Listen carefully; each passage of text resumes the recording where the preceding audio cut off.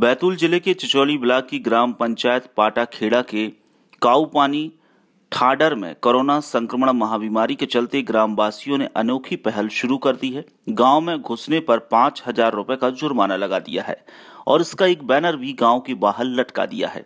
गाँव के कैलाश आर्य ने बताया कि हमारे गाँव में बाहरी लोगों के प्रवेश पर प्रतिबंध है। गाँव के लोगों की समिति ने यह निर्णय लिया है और बारी बारी से ये लोग पहरा भी देते हैं।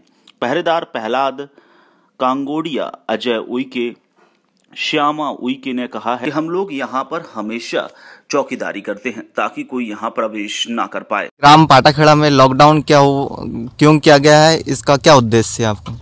ये जो ग्राम पाटाखेड़ा टाडर कोपानी रोड पे हमने इसलिए लॉकडाउन किया हुआ है। टोटल लॉकडाउन यहाँ पे बाहरी लोग किसी भी प्रकार के क्योंकि देश में कोरोना जैसी महामारी फैली हुई है, इसलिए यहाँ पे हमारे गाँव में बाहरी किसी भी व्यक्ति का आना मना है। यदि कोई व्यक्ति हमारे ये जो आप यहाँ पे जो आपने ये टाडर कोपानी रोड पे ये लॉकडाउन किया हुआ है, इसका क्या उद्देश्य? आप क्या चाहते हो कि यहाँ से ये रोड बंद करके आप क्या करना चाह रहे हो? लोगों को यहाँ पे रोक रहे हो? क्या है? इसका उद्देश्य क्या है?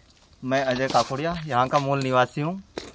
यहाँ ये कोरोना वायरस महामारी के चलते हुए गाँव वालों ने एक समिति बनाकर लॉकडाउन बंद करे जिस प्रकार से बाहर से आए हुए लोग महामारी से पीड़ित यहाँ अंदर गाँव के अंदर ना घुस सके और ये महामारी से बचे। बोलना बे से ज़बरदस्ती करने पर उसको पाँच हज़ार रुपये का जुर्माना भी रखा गया हुआ है।